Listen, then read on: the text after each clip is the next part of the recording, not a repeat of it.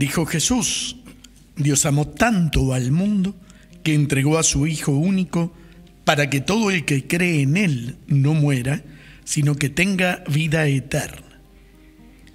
Porque Dios no envió a su Hijo para juzgar al mundo, sino para que el mundo se salve por Él. El que cree en Él no es condenado.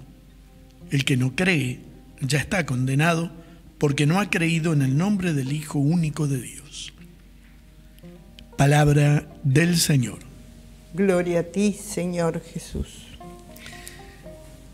Acabamos de concluir el domingo pasado el tiempo de la Pascua con la fiesta de Pentecostés, es decir, el envío del Espíritu Santo sobre los apóstoles, sobre María y luego sobre toda la comunidad en Jerusalén. Y hoy la iglesia en este primer domingo del tiempo ordinario, en realidad del noveno domingo después de la Pascua, estamos celebrando la fiesta, la solemnidad del Dios uno y trino, que tantas complicaciones trae, especialmente a las catequistas, a los catequistas, para intentar explicar este misterio. Me contaba Juan Andrés al prepararnos para la Eucaristía de un chico que en catequesis dijo, la trinidad es muy fácil, es como la pasta de diente. ¿Por qué? Porque vienen tres colores en un mismo tubo y bueno, una definición que encontró mucho más fácil la que a veces encontramos nosotros.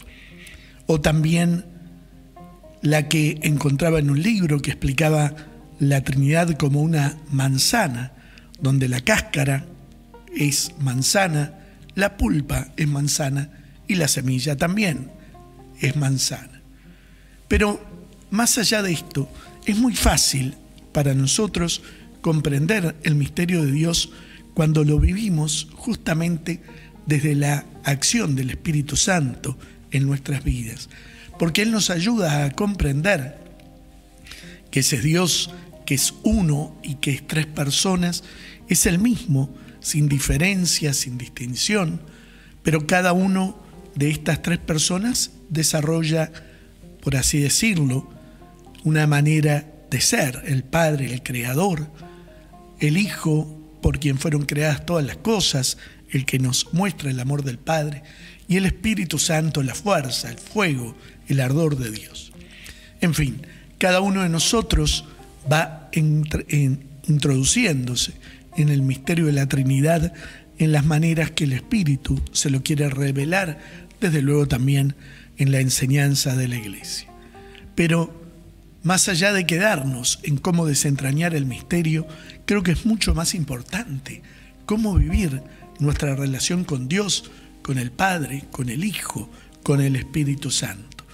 Cómo relacionarnos de manera sublime en ese amor que se nos da de manera exuberante, que se nos da también trinitariamente, es decir, de una manera que lo descubrimos especialmente en la comunidad de personas de Dios, pero también en la comunidad que forma la iglesia, el pueblo santo que Dios se ha elegido.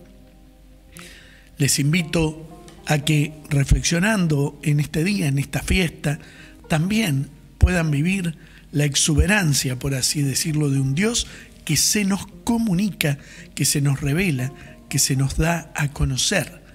Y también en este tiempo a ser testigos de ese amor de Dios para todos cuanto lo necesitan. Al Dios Padre, Hijo y Espíritu Santo, sea el honor y la gloria por los siglos de los siglos. Amén.